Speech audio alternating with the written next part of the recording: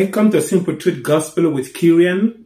Today, we will start st- studying the book of uh, Galatians, uh, the letter of St. Paul to the churches in Galatia reveals to us there that we are only saved by grace, nothing else. Otherwise, grace is no longer grace. But before we continue, let's have a word of prayer together. Father God, we all agree today as touching these things. I am praying for your utterance to speak to your people today as your own oracle, that you will make my tongue as a pen of a ready writer. Praying for the anointing of your spirit, anointing that will teach us and guide us and uh, lead us into all the truth today. Dear Spirit of God, you are the teacher. I'm just a vessel. I pray that you will open the eyes, ears, and hearts of everyone listening today, wherever they're listening from. I pray that you will show to them what you want them to get out of today's teaching. Let the light of the glorious gospel shine in our paths today. Help us to separate what is God and what is not God.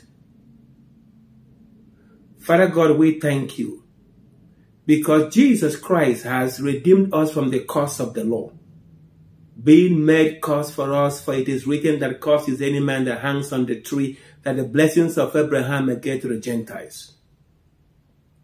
Father, we thank you because we are saved by grace through faith, and that not our own selves, but it is a gift of God, not of works, lest any man should boast.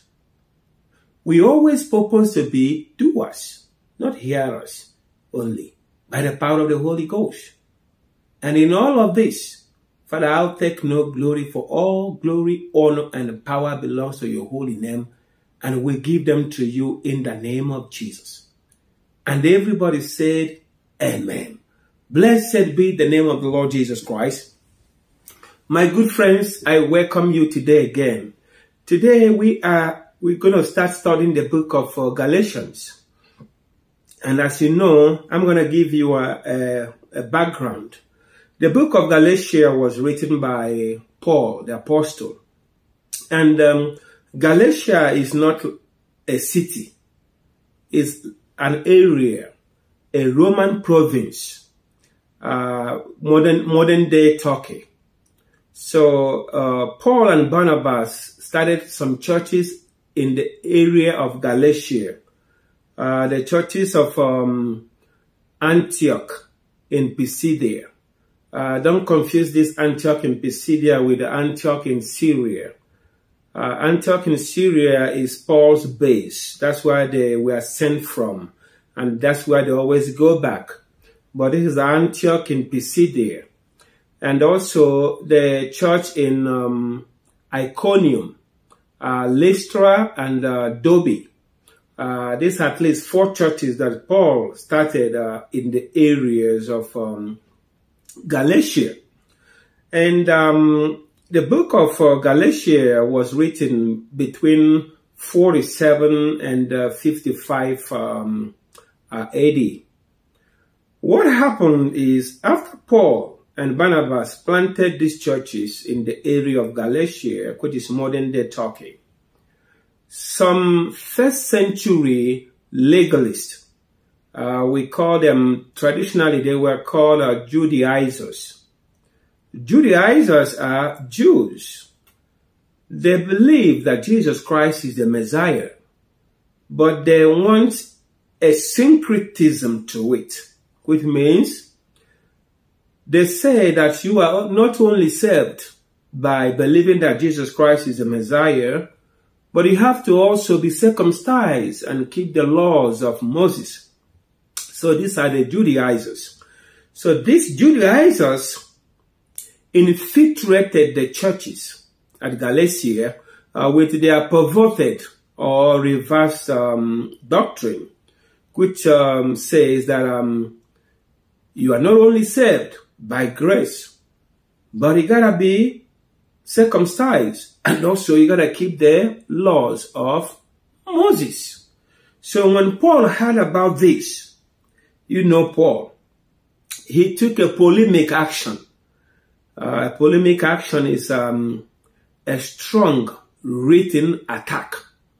So he wrote to the churches in Galatia, trying to separate these men, these Judaizers.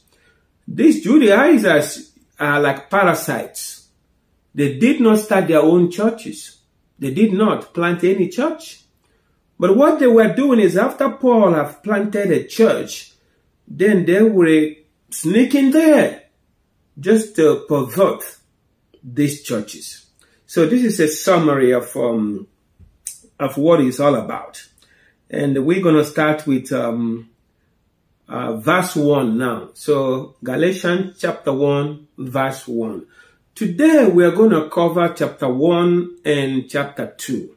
By God's grace, if time permits us, we'll cover chapter 1 and also chapter 2.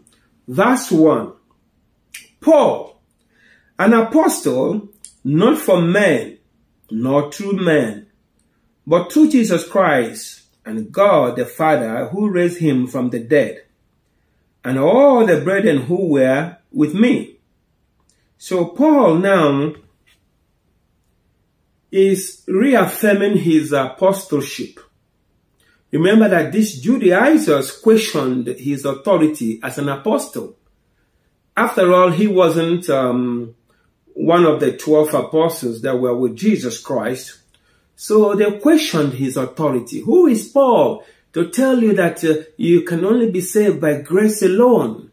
Uh, and uh, so they questioned his uh, authority as an apostle. So because of this, Paul is telling them here, he says, not from men, not through man, but through Jesus Christ and God the Father who raised him from the dead.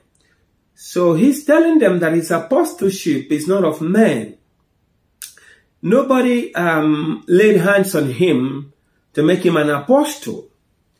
And you know, sometimes we will lay hands on people and then we will uh, uh, call them one name or the other.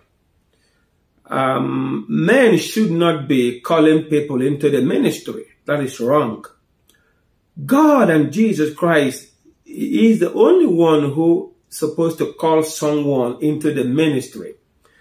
Men can only ratify what God has already called. So there has to be fruit. There has to be evidence that God has called these men and women into the ministry before a man can lay hands on them just to ratify the call of God upon their lives. So Paul is here establishing that uh, I am not apostle that was ordained by some bishop or some clergyman. But my apostleship is from the high, highest authority, Jesus Christ himself and the Father. That's what he's saying here.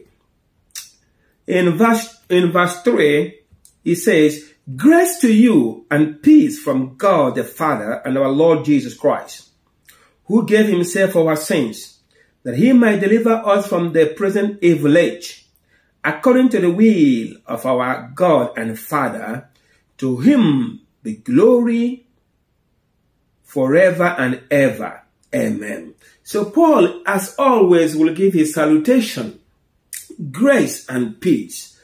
Grace, that word grace is uh, Hebrew, uh, um, um, is, is the Hebrew word, is uh, charis. That is the Hebrew word. And, uh, you know, grace, people will define grace as the unmerited favor of God. And the word peace there is the Hebrew word shalom, which means peace. So Paul will always combine these two words together and always in this order, grace and peace. Because until you know the grace of our Lord Jesus Christ, that uh, everything we get from God is through grace, you will not have peace. Peace will not be multiplied in your life. So Paul knows that his audience are uh, uh, uh, Jews and Greeks. So he will always mix this greeting together because the Grecians will say, when they see somebody, they will say, grace. That's how they greet. And then the Jews will, when they see one another, they will say shalom. Even present day, that's they will greet you if you're in Jerusalem. Shalom, shalom, which means peace. So that's what Paul, uh, he always write this way if you observe his writings. And then he says, uh, um, uh, he, that he might deliver us from this present evil age. So right now, we are in this world, but we don't belong to this world system. Jesus Christ already has delivered us from the system of the world. Once you get born again, you are called out of darkness into his own marvelous light. So we don't belong to this system anymore. But there will be a day when the rapture of the church will happen. That day he will deliver us completely out of this world. Remember the prayer Jesus Christ prayed. Father, I'm not praying that you will take them away from this world, but I'm praying that you will keep them away from the evil one. So it's the same prayer. That's what he's saying here. There will be a day Jesus Christ died for this purpose, that he will deliver us completely from this world. Right now we are out of the system of the world. But there will be a day when he will deliver us completely from that, um, this uh, physical world. Baruch Hashem Adonai. Blessed be the name of the Lord Jesus Christ. I marvel that you are turning away so soon from him who called you in the grace of Christ to a different gospel, which is not another, but there are some who trouble you and want to pervert the gospel of uh, Christ. So because of what these Judaizers were doing, Paul now has his boxing glove on. He comes in with this uh, polemic weapon, an attack by writing. So he says, I am marveled already that you are torn, you, you have soon turned away from the grace of, of Christ to a different gospel. What is this different gospel? The gospel that uh, Paul brought to this, uh, uh, to the people of uh, Galatia is the gospel of grace. Pure grace. Grace alone. Not a mess by it. Not a mess with it. Let me explain to you what it means. It means that um, we are saved, which means we become born again by believing what Jesus Christ did for us. That he died for our sins, God raised him from the dead, and we ask him to come into our life and become our Lord and Savior. As you can find this in Romans chapter 10 verse 9. If thou shalt confess with your mouth, Lord Jesus, believe in your heart, God raised him from the dead, thou shalt be saved. This is the gospel Paul preached. That the salvation we have now is a free gift. You don't work for it. You don't earn it. You cannot merit it. Your good works, your personal righteousness cannot earn you this salvation. It is a pure gift of grace. Your own part is to receive it by faith. And then you become right in the presence of God Almighty. This is the gospel uh, Paul brought to these people. And that's why it is called good news. Good news in the sense that um, someone died in your state, in your place to give you salvation and all you got to do is to believe with your heart and then you become right in the presence of God. It's good news. But as soon as something else is added to it, it departs from being good news. So the Judaizers are adding something from the gospel that Paul preached to these people. Let me tell you something. This is the reason why so many people are not saved, even in the church today. There are so many church members who are not saved. Why? Because of this simple reason here. They think that they're gonna be right with God by their good works, by their personal righteousness, by their good deeds, their charitable works, their church attendance, their regularities in prayers, the mannerism of, of, of, of, of doing good things This is what they think. This is how, what they believe. And they have been taught this way. Some of them believe as well, like these uh, syncretizers, that even though you believe Jesus Christ is the Lord and Savior, that you're going to add good works to it. So they say Jesus plus good works equals to salvation. This is why so many are not serving the church today. What is the gospel that Paul preached?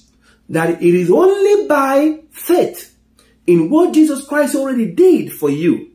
This is how you're going to be, that's, this is how you're going to get your salvation. So Paul was so much angry here, upset that the people that he already taught are already moving away from the truth and they are going about with this other gospel which becomes a mixture of two things. This is what he's saying here. And who are the, who are the perpetrators? The Judaizers.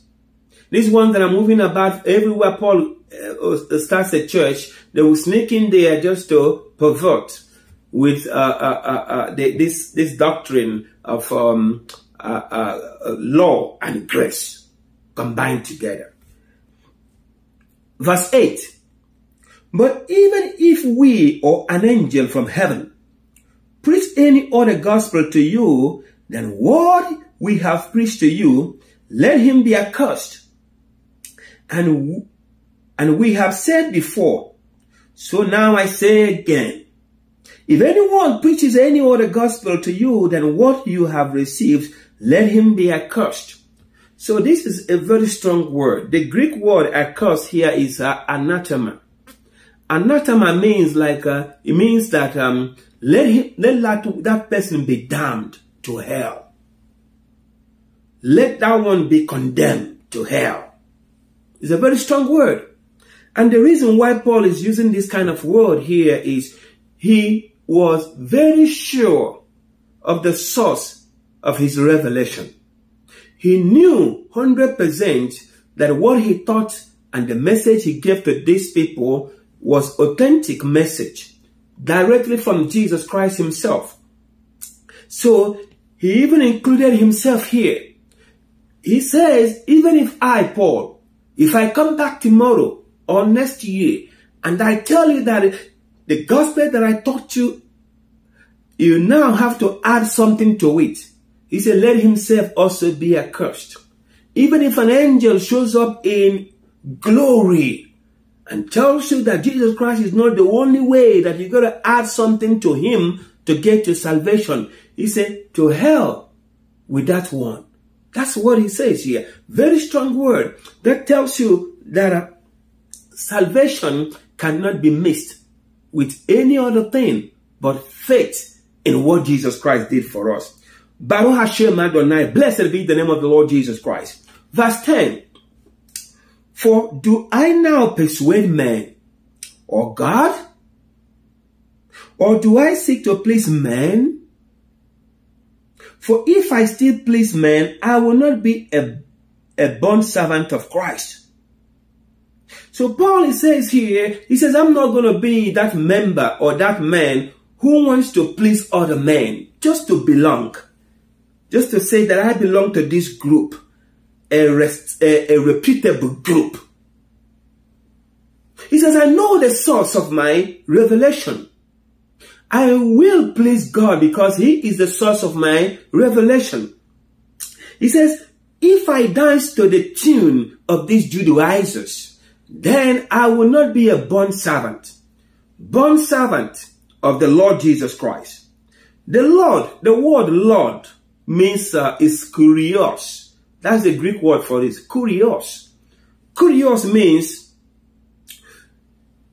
he to whom a person belongs to. Someone who owns. Someone who controls. That's what the word means, kurios, Lord. Now, doulos means bond servant, bond slave. bond slave is someone who has given up, is giving up his own privileges and rights knowing fully that will not be two masters in one place. If you say that you were a born servant, a born slave of our Lord Jesus Christ, means that you are now going to give up all your privileges and rights. And now you're going to concentrate in only what the one who, who you call master says. Jesus Christ says, why do you call me Lord, Lord? But you don't do what I say. Good means you're calling me Lord doesn't, you don't show it in your practice. You are just only a hearer or a sayer, but you are not a doer. So, Bible tells us that you are not, you are now not your own. You have been purchased for a price. He says, now glorify God in your body and in your spirit, which are God's. You're not, you're not your own anymore. So Paul is saying here, if I deviate from this truth, then I will not be a born servant, a born slave anymore. Now I will be doing the things of my own. And I will no longer be worthy to call Jesus Christ Lord.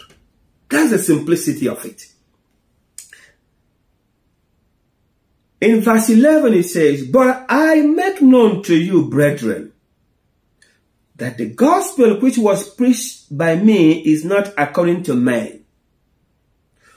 For I neither received it from men, nor was I taught it, but it came through the revelation of Jesus Christ.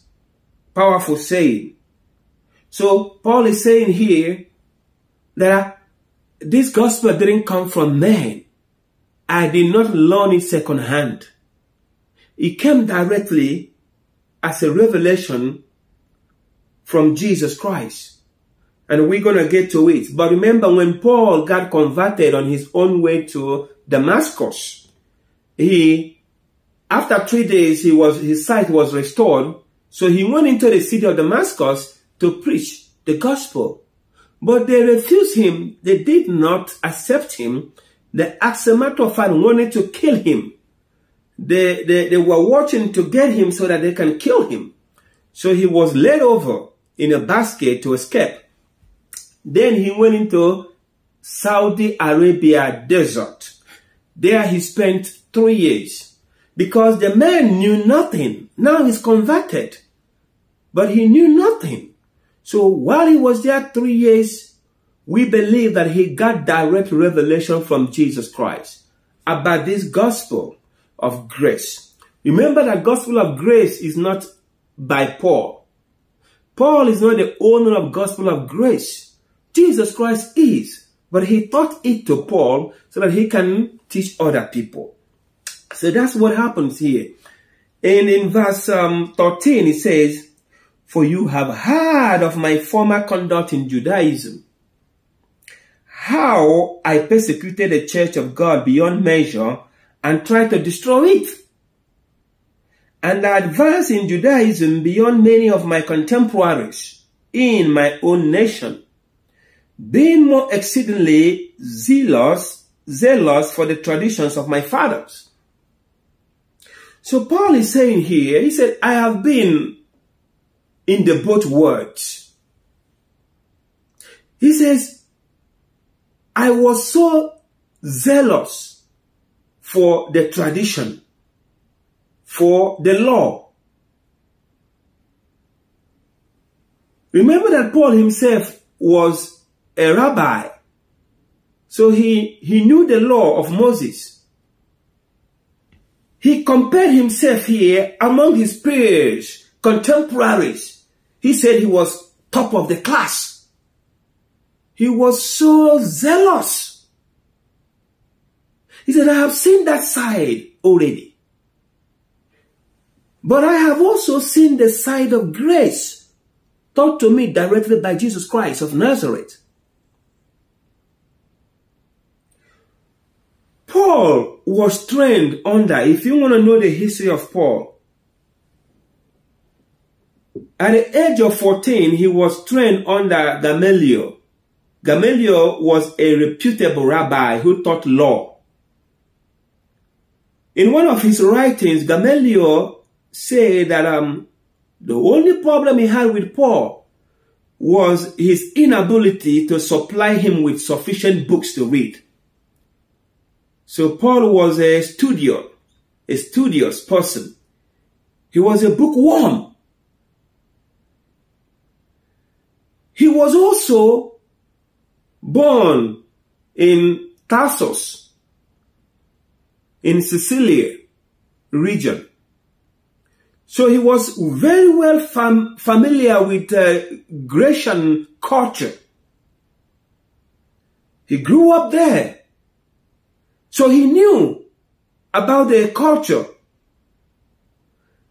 And also he was taught in the laws of the Jews. In Philippians chapter 3, verse 5 to 6, let me read to you his own resume that he gave. Circumcised the eighth day of the stock of Israel, of the tribe of Benjamin, a Hebrew of the Hebrews, concerning the law, a Pharisee, concerning zeal, persecuting the church, concerning the righteousness which is in the law, blameless. This is Paul's resume. But now he's beginning to compare. He says, I've seen you, I've seen the both sides. He said, I, I was, I was, I was zealous for the law. But now I've seen the reality that is something bigger than the law, which is grace. But when it pleased God who separated me from my mother's womb and called me through his grace to travel, to, to reveal his son in me, that I might preach him among the Gentiles, I did not immediately confer with flesh and blood, nor did I go up to Jerusalem to those who were apostles before me. But I went to Arabia and returned again to Damascus. Paul says here, but when it pleased God who separated me from my mother's womb and called me through his grace. Let's stop over here. I want to give, uh, pass something to you here uh, in this uh, uh verse. Paul says that God separated him from his mother's womb. So there are some Christians who don't believe in the doctrine of divine election and the human evolution. They don't believe. Paul is telling you here that uh, before you were born, God knew those who will be saved. And I'm going to give you scriptures just to tell you that. The divine election of God is based on his foreknowledge. Because God is omniscient, he knows everything. So he knows those who will be saved, those who will hear the gospel and believe it. He knows. So he predestinated them for eternal life. Remember in Jeremiah chapter 1 verse 5. Jeremiah chapter 1 verse 5. He said, before I formed you in the womb, I knew you. Before you were born, I sanctified you and I ordained you a prophet to the nations. Before Jeremiah was even formed in the womb, God knew he was going to be a prophet. He was going to receive grace. He was going to be a child of God. In Romans chapter 8 verse 29, Bible says, for whom for whom he foreknew, he also predestinated to be conformed to the image of his son. So he knew through what? Foreknowledge. And because he knew through foreknowledge, he all he predis, he pred, this he predestinated them to be formed into the conform into the image of his son. In John chapter 15 verse 16, I believe, Jesus Christ says, you did not choose me, but I chose you and appointed you that you should go and bear fruit and that your fruit should remain. So sometimes we say, I chose the Lord. I chose the Father God. I chose to follow Jesus. Jesus telling you, I said, you did not. I chose you. I chose you. You did not choose me. In Acts of the Apostle chapter 13 verse 48, and as many as had been appointed to eternal life believed. after Paul preached, says, as many as had been appointed to a eternal life, they believed. So these ones were appointed unto eternal life. So there are so many Christians who they find it difficult to believe this doctrine of uh, divine election. That God, He knows those who will be saved. Even before they were born. Yes. But you got your own part to play in it. Because God created us as free moral agents. We got our own right to make choices. Freedom to choose. So you are the one who's going to make it complete. Because the Bible says when you had the day that you heard his voice, harden not his heart. Whosoever call upon the name of the Lord shall be saved. So you are the one who will make that move to bring it into completeness. In Ephesians chapter 2 verse 10, the Bible says, For we are his workmanship, created in Christ Jesus for good works, which God prepared beforehand that we should walk in them. And in, in Ephesians, the Bible says we are chosen in him before the foundation of the world. So, don't say, okay, I don't know if I am chosen or not. No, you'll be, you'll be making mistakes. When you hear his voice, you are the one who will bring this into completeness. But God, because of his foreknowledge, he knew those who will answer the call. And before the creation of the foundation of the earth, he knew this once already. Let's continue with our studies today. And uh, so Paul says, he says, to reveal his son in me, that I might preach him among the Gentiles, I did not immediately confer with flesh and blood, nor did I go up to Jerusalem to those who were apostles before me, but I went to Arabia and returned again to Damascus. That's what I said earlier. So when Paul had about, uh, when Paul had his conversion in the, on his way to Damascus, um, he, he did not conform with flesh and blood. He went to Saudi Arabia with that, where he got his own uh, revelation. Even when he returned back to Jerusalem from Damascus, when they refused him there, he went to Jerusalem. Even at that point, he did not hang out with the apostles. He only met with Peter uh, and, and also James, the brother of Jesus. So for like two weeks. So whatever Paul knew, the revelation he got, he did not get from the apostles. It was firsthand given to him by Jesus Christ of Nazareth. That's what he's saying here. Now, in verse, in verse 18, he says, Then after three years, I went up to Jerusalem to see Peter and remain with him for 15 days. About 15 days, he remained with uh, Peter. That's when he when he went from Damascus uh, back to uh, uh Jerusalem after spending those three years in uh, Saudi Arabia. But I saw none of the apostles except James, the lost brother.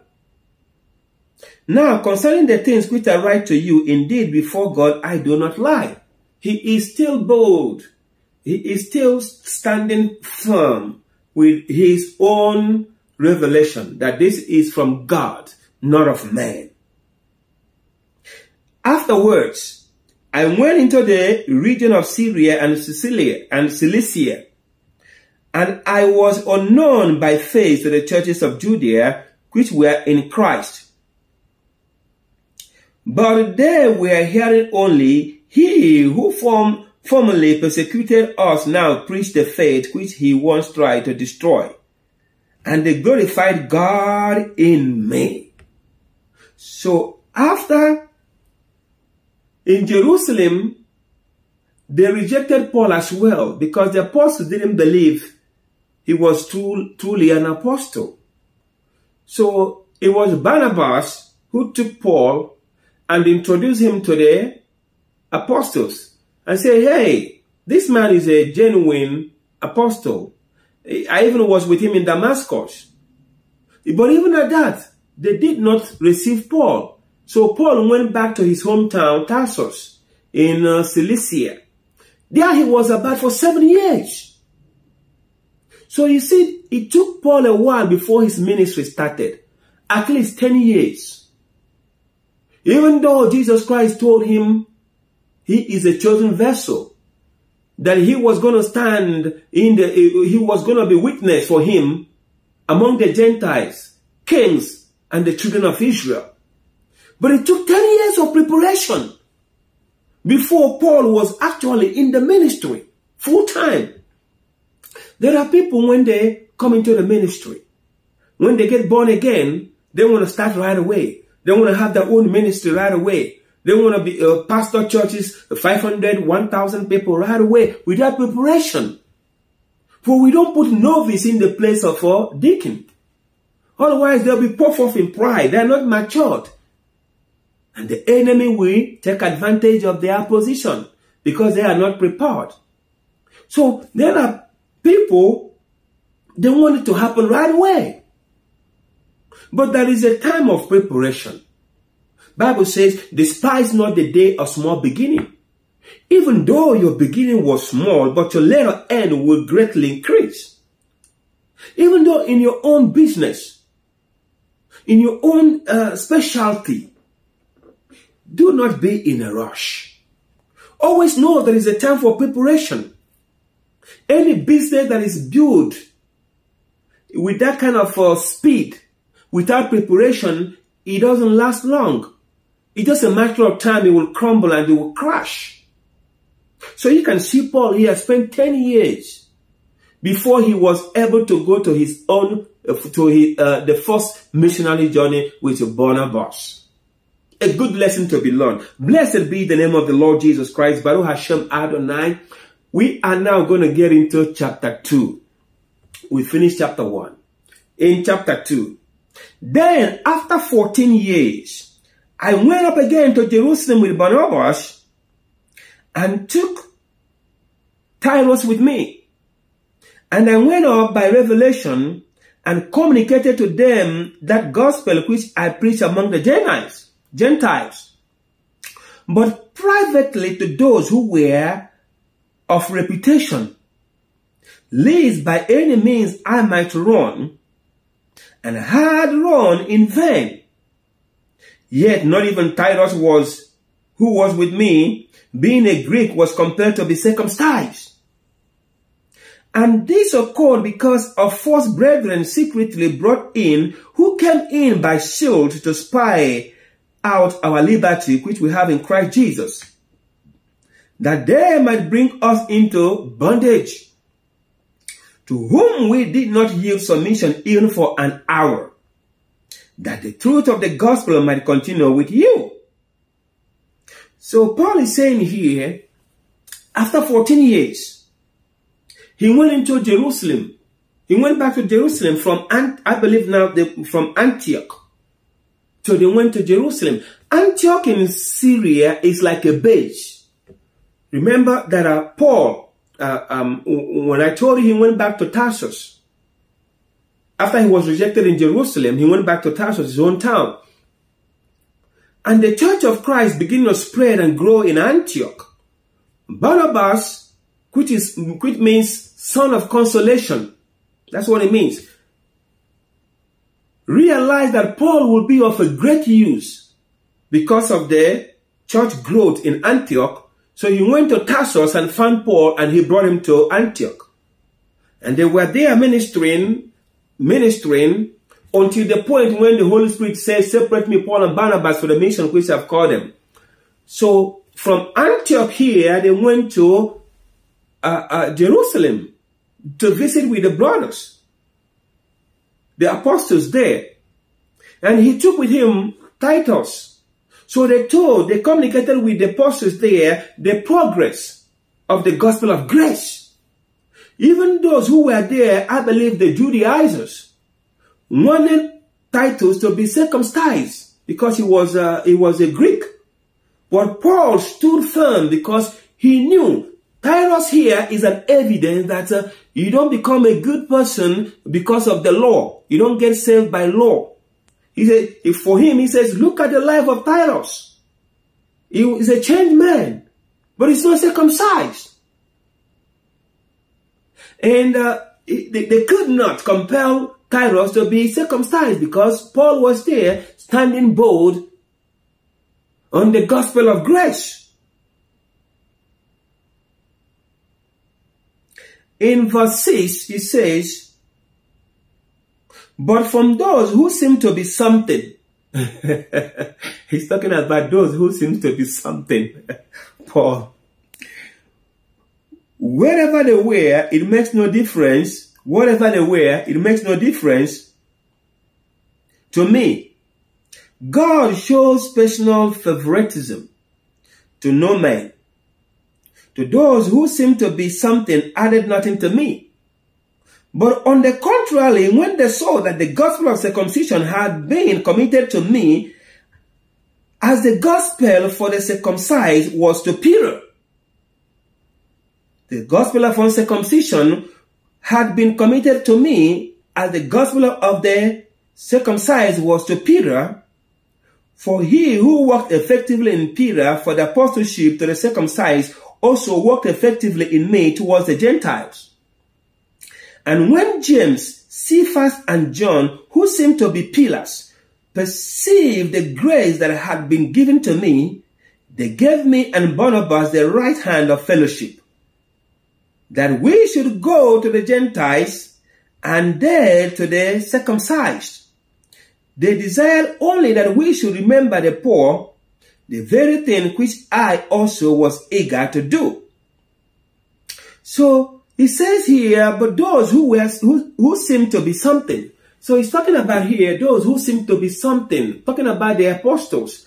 In the eyes of the Judaizers, to the Judaizers, these are the real apostles.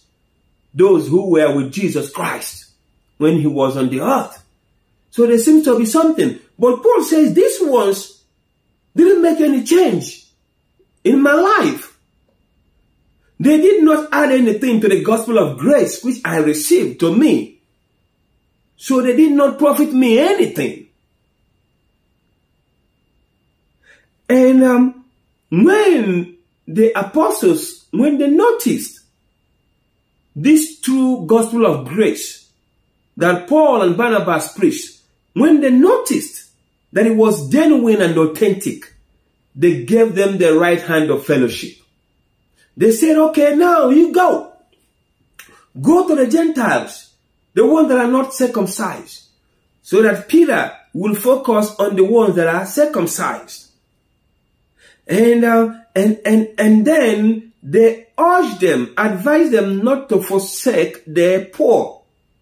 And you can see that Paul uh, collected uh, uh, gifts from Gentile churches to help the saints at Jerusalem. One, what we, we, we, there is a lesson we got to learn from here. Always know where you are called. Because that's where you're going to find your grace for success. You see what happened here? When the apostles when they come to the recognition that Paul and Barnabas have been called to the uncircumcised, they gave them the right hand of fellowship. They supported them. They say, go. That's where your grace is. Go. Concentrate on the uncircumcised. That's what you have been called to do. That's where you're going to find grace and empowerment that is where you're going to find accomplishment and progress and victory. There are people in the ministry, those who have been called to be teachers and pastors, but they've left the area they were called and now they are in different areas. They want to be evangelists. They want to go into healing ministry deviating from the place of their calling. The place where you are called is a place where you're going to find grace. Very important. Because when God calls you, He's going to equip you for the purpose. He's going to equip you for that place that He called you. Even in your own personal lives, in our own personal lives, is a very big lesson to learn. Find that from God by his spirit that is in you what he has called you to do. he will reveal it to you. There are people who are called in different fields and they are all in a different, in other fields. Someone called to be a medical doctor, but he's going to be a pilot. And in that field, they will have so many struggles. If you are struggling so much in the area, in the area of your specialization, chances are high that you were not called to be in that area because there won't be any grace for you to accomplish it.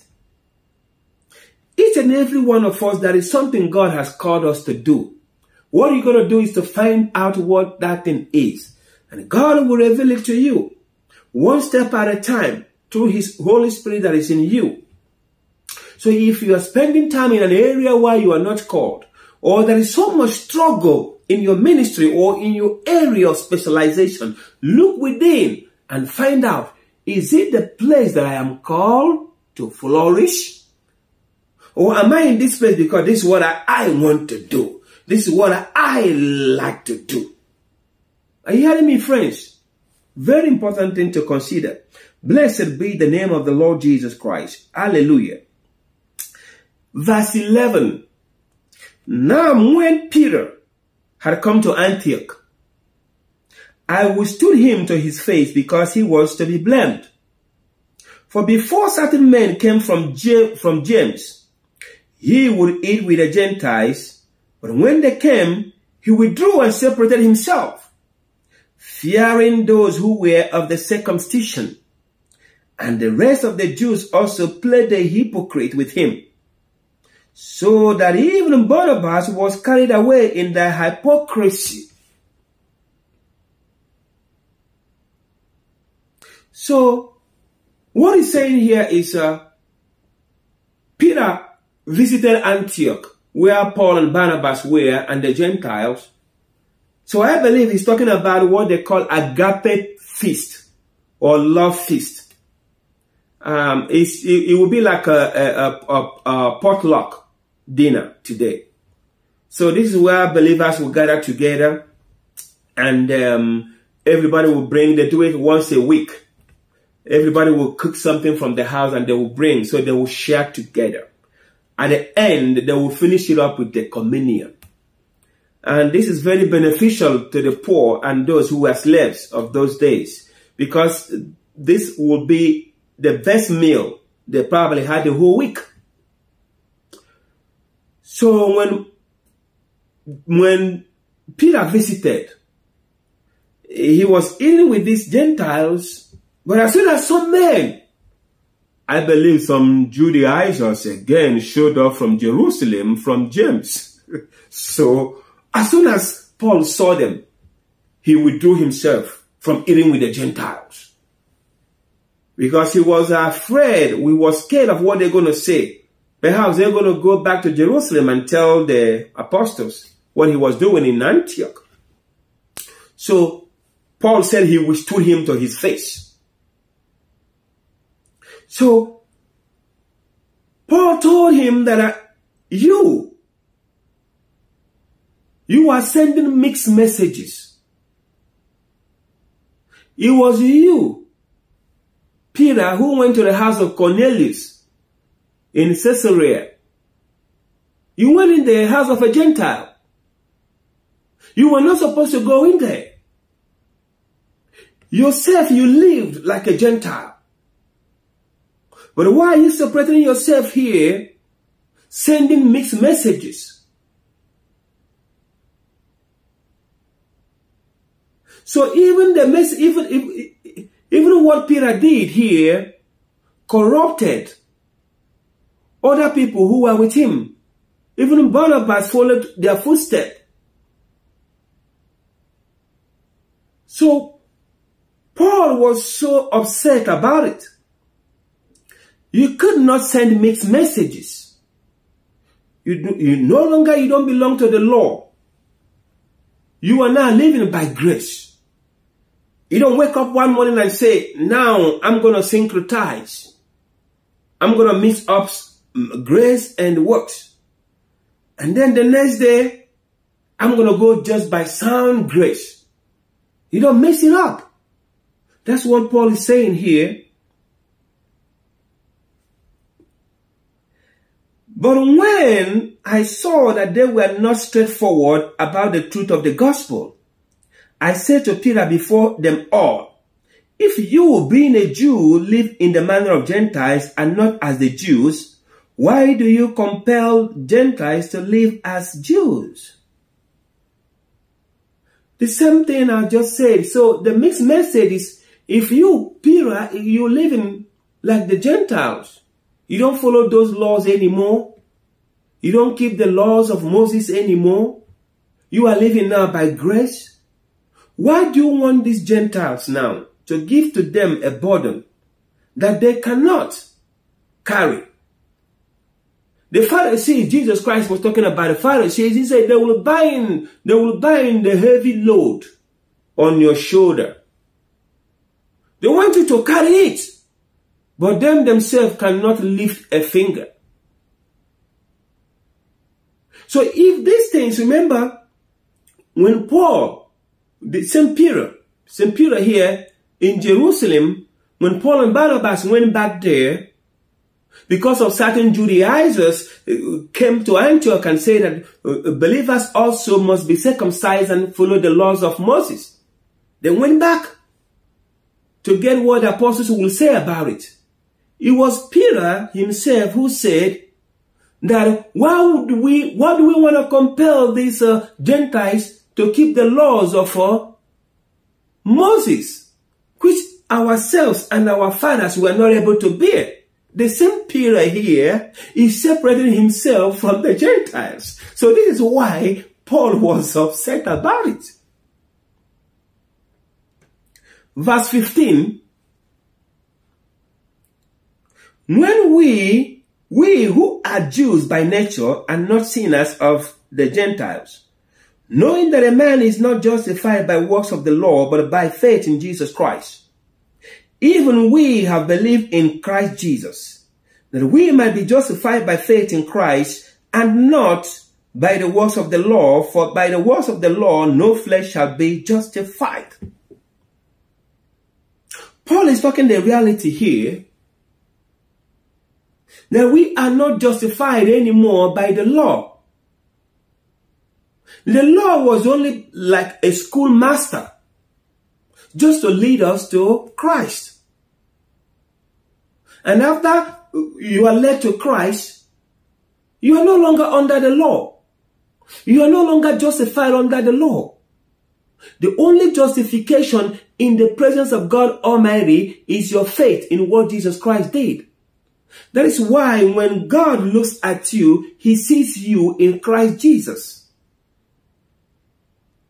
So Paul is saying that we are no longer justified by the works of the flesh.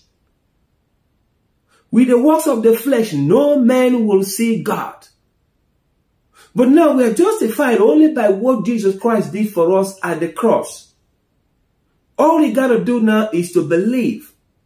He died for my sins. God raised him from the dead. He is now my Lord and Savior. You ask him to come into your life and be your Lord and your Savior, and right away you are recreated and you become a new creature. The righteous one shall live by faith. It's no longer by your works or by your actions or your merits because it's not possible. You could not. By works of the law, you could not earn a place in the sight of God. It's impossible. That's why Jesus Christ came and he died for the sins of all mankind. That whosoever believes should not perish, but have eternal life.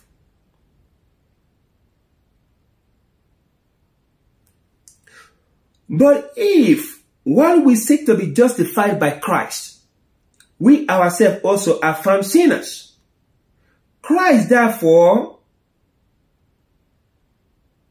a minister of sin, is Christ therefore a minister of sin?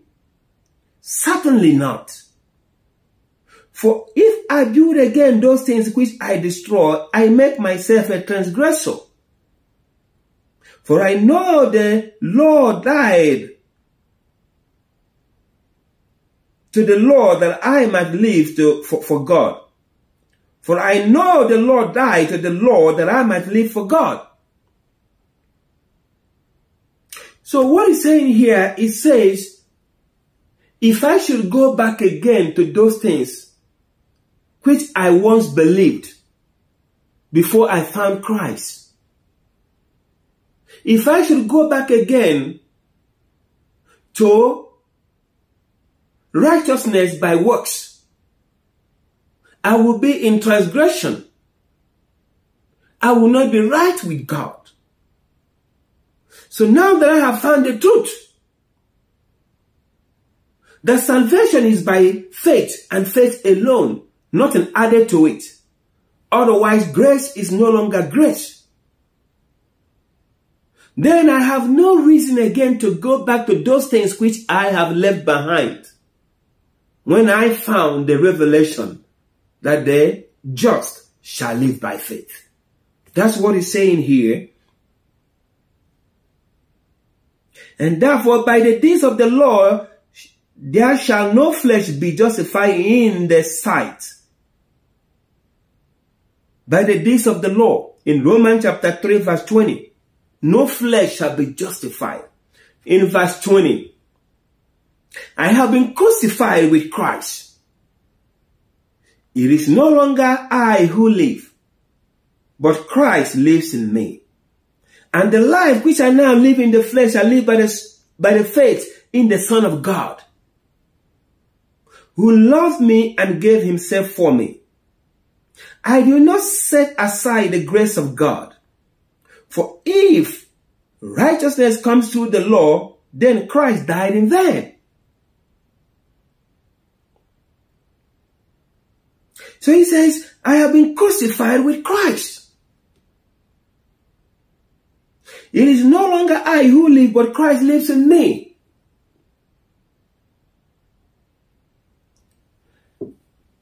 Paul is saying now that uh, we, we have been crucified with Christ. When Christ died, we died with him. When he was raised from the dead, we were raised with him together. Everything that Jesus Christ did for us before we were under the law, before we were people who followed the laws of Moses. But it's telling us now that the purpose why Jesus Christ came was to put to death, to crucify all of these uh, traditions and all these requirements of the law. He says that is the purpose. And because I died with him, the requirement to keep every one of those things died. Now the life that I live now, I live it by the faith of the Son of God who died and gave himself for me faith in what he did for me. Faith in the grace that he is given to me. Faith in salvation by faith alone. This is where my faith is right now. He says, I do not set aside the grace of God. Because if I go back again, keeping all these traditions and the laws, mean that the grace of God is in vain. Because by grace we are saved through faith. It's not of ourselves. So we cannot go back to the law. If we do that, means that the grace of God is no longer effective, is no longer working it becomes something that is in vain for us. That's what he's saying here. And he says, For if righteousness come to the law, then Christ died in vain. Remember when Jesus Christ was at the Garden of Gethsemane? He prayed, Father, he said, if it's possible, take this cup from me. Nevertheless, not my will, but your will be done.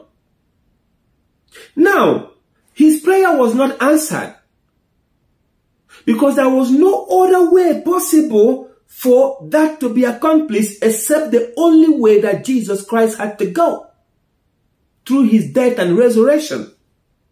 If there was any other way that human beings could be saved, God would have answered the prayer of Jesus and then Jesus would not have gone to the cross. But because Jesus went to the cross simply means that there's no other way. Jesus says, I am the way, the truth, and the life. No one come to the Father but by me only. No other name under heaven whereby we must be saved but the name of Jesus. And except a man be born again, he cannot see the kingdom of God. So there is no other way. If through the righteousness of man, human righteousness, that man could be saved, then Jesus would have Jesus would not have gone to the cross. But there was no other way. So that's why he's saying us here. In Romans chapter 11 verse 16, the Bible says, And if by grace, then it's no longer of works. Otherwise, grace is no longer grace. But if it is of works, it is no longer grace.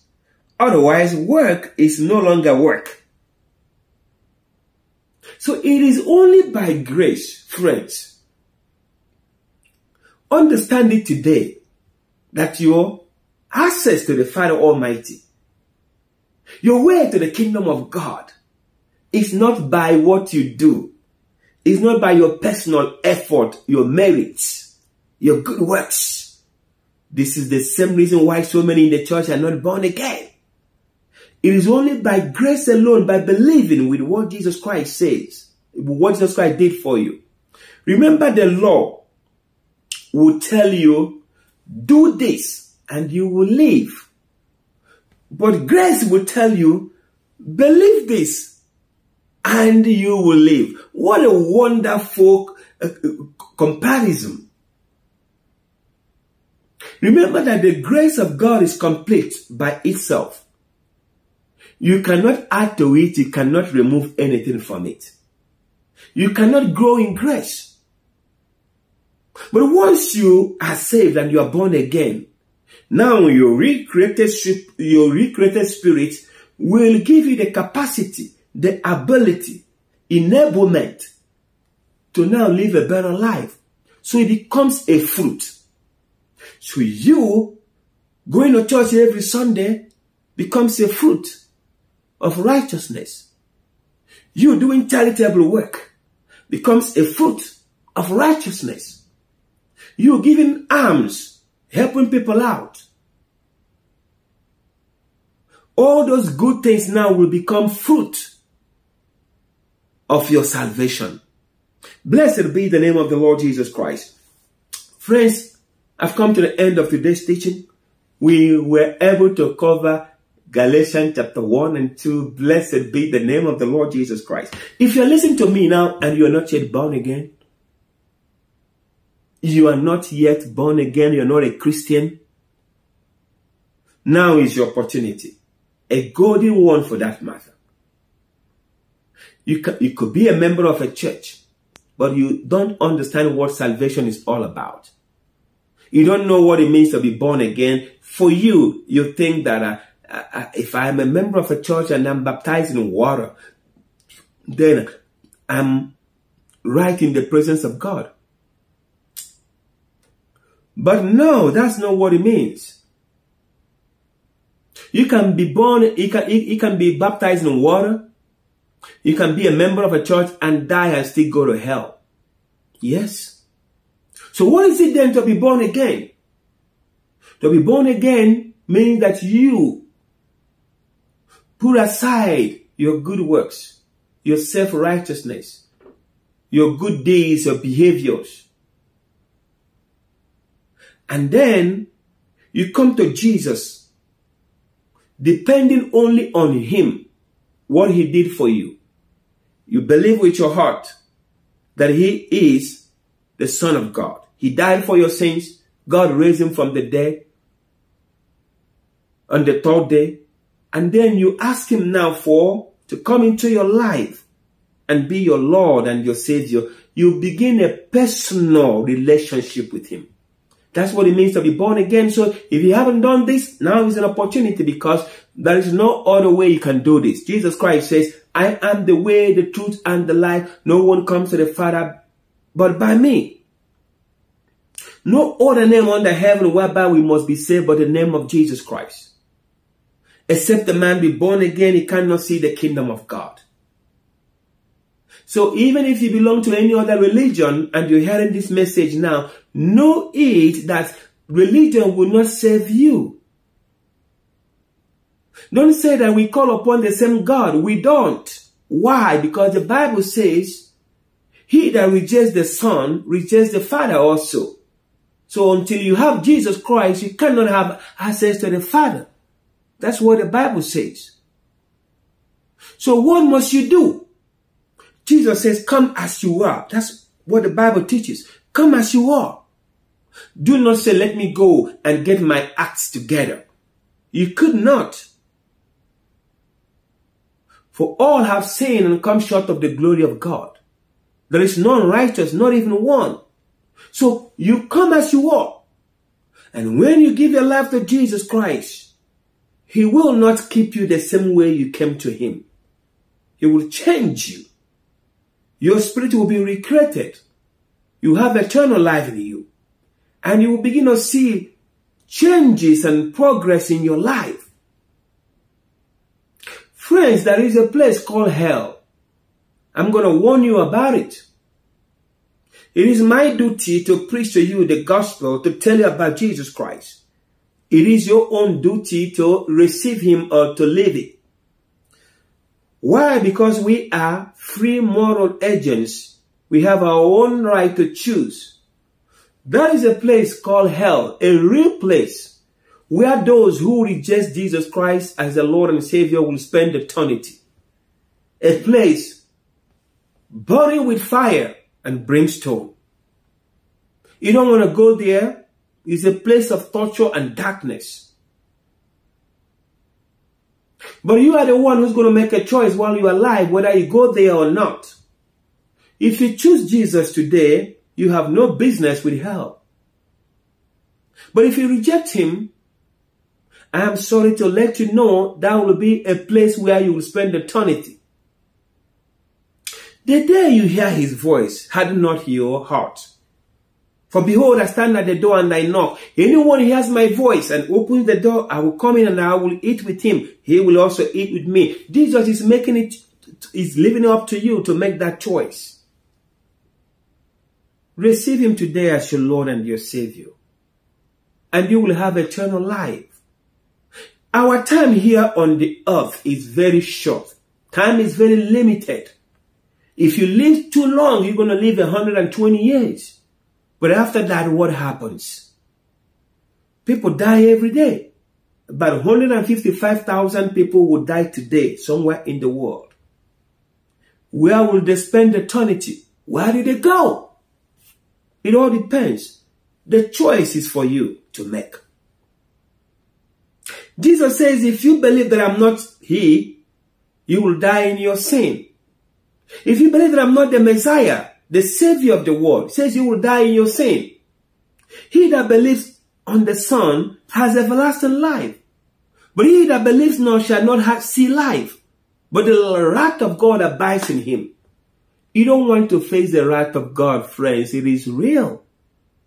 So that is why you will have to make that decision today. David says there is only but one step between me and death. You don't know when it's going to happen. But let that be one step between you and uh, heaven. Let that step be Jesus Christ of Nazareth. That you receive him today as your Lord and your Savior. I'm going to lead you now in a very short prayer, friends. If you pray this prayer with all your heart, you mean it. You're going to be born again right now. Right now. No delays. Pray this prayer with me. Father, I come to you in the name of Jesus Christ. I believe he is your son. He died for my sins. You raised him up from the dead on the third day. Jesus Christ, I ask you this day to come into my life, be my Lord and my Savior. I believe that I'm now born again, that I'm a child of God. My name is written in the Lamb's book of life. I have now eternal life. Father God, I thank you for this in the name of Jesus Christ. Amen. Friends, if you pray that prayer, welcome to the kingdom of God. Now, that is a subsequent experience. We call it the infilling of the Holy Spirit or empowerment by the Spirit of God. It's subsequent after your salvation. It is evident by speaking with other tongues. If you go to my iCarve on YouTube, Simple Truth Gospel with Kyrian, find a teaching there called Speaking in Tongues is for every believer. It will help you and teach you what you need to know about this experience. Now you were a baby Christian because you just got born again. So it is very, very splendid for us that you find a good church where they teach the word of God and become a member of that church. Buy Bible and read your, read the word of God. That's how you're going to grow. Faith will come by hearing, hearing by the word of God. Peter says, desire the sincere make of the word of God that you may grow by. I want to use this opportunity to thank all our partners all over the world. Those that are praying for this ministry. Those that are helping us financially to reach other people with their financial gifts at no cost to them. If you want to be a partner to this ministry, please go to www.kuim.org. That's our website. And there will be a donation button there where you can securely give your gifts. Friends, remember, it is only those who hear the word of God and they do. We call them doers of the word of God. They are the ones who get the full benefits of the word of God. Surely there is an end and your expectations will never be cut off. Blessed be the name of the Lord Jesus Christ. La granda machine de libro couvre escatama engrandeski ingre uparatia Deus.